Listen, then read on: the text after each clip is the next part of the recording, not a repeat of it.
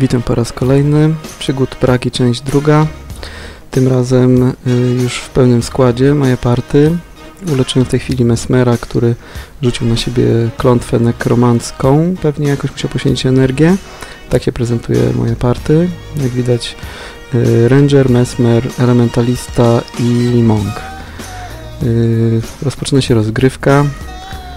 Wybiegamy. Pierwsze co robię, to sprawdzam, kto jest w przeciwnym party. Dwóch elemelków. Rzucam man mantrę of lightning, chroniącą mnie przed czarami e, powietrza.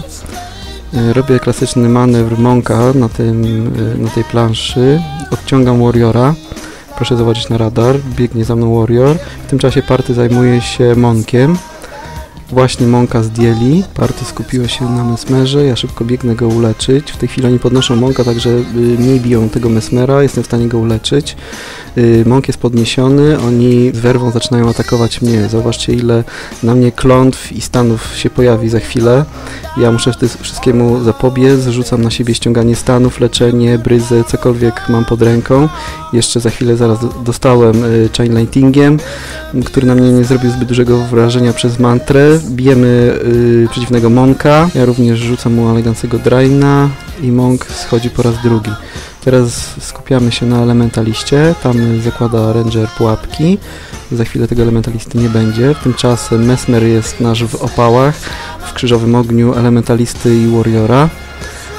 Yy, Ranger tutaj koło mnie, zaraz podejdzie, założy śliczną pułapkę.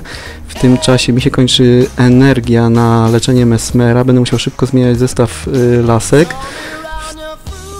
Dostałem energię, Warrior dostał knockdowna, ja uleczyłem Mesmera, praktycznie uratowałem mu życie. No i zostaje tylko Warrior, yy, który dostał pindowna, on już nikogo nie dogoni, kulejąc. Spotyka go okrutna śmierć w boleściach. Kolejny Flowers Victory.